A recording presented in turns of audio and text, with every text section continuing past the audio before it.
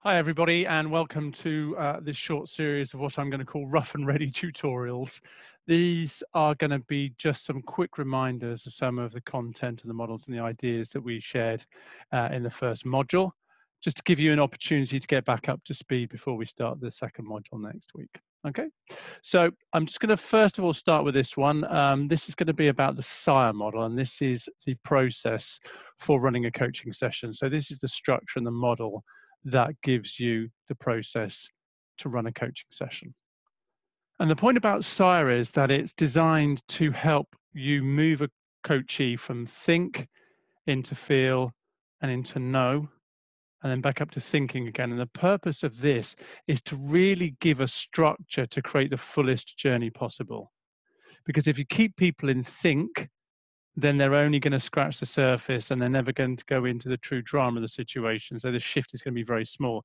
If you keep people just in feel, they'll really get into the drama of it, but they'll never get any conviction. So you've got to move them from that structure of think into the full drama so they can really work out what's going on for them and why they need to change and feel, and then get to that point of conviction and clarity in knowing, and then return them back up to think to make sure that they've got a really key structured action plan.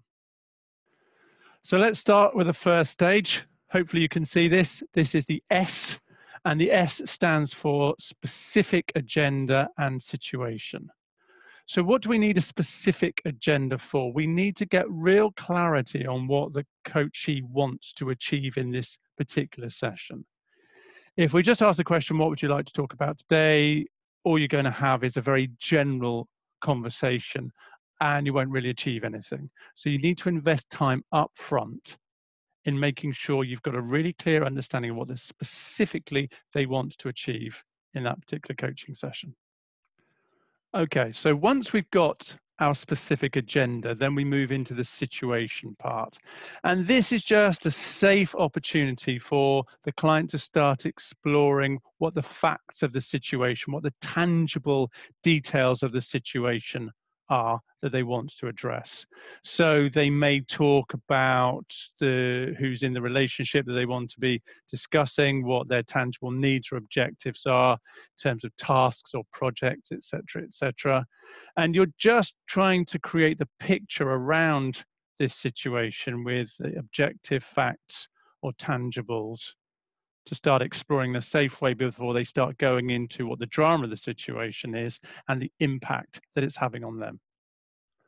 So once they've talked about their situation, um, which may be that they feel they're struggling with workload, that they've got a tricky relationship with their manager, their manager's micromanaging them, could be in this situation, um, certain operational problems about coming back to work. So it could be a great many things. But the key here in terms of impact is to say, okay, at an emotional level, what impact is this having on you? And is it a big enough deal to make you want to do something about it? So they really need to explore the emotional impact of this situation to get a sense check of whether it's really worth investing in exploring the potential responses and choices and really making commitments to change to then create a different outcome. So if you don't really focus on impact enough, you'll get a very shallow conversation. Okay, so they've got a specific agenda. They know specifically what they want to achieve in this particular session. And we've got an understanding of the objective facts around the situation. Who the key characters are, what's been going on, what the dynamics have been, what the interactions are, etc., etc. We then drop them into feel with feeling type questions, which basically says, impact. Is this a big enough deal for you to want to do something about?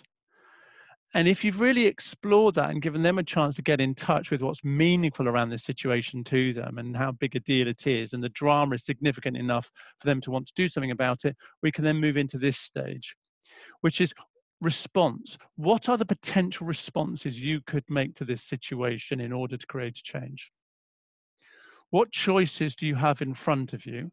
And how radical could your choices be to create the biggest shift of all?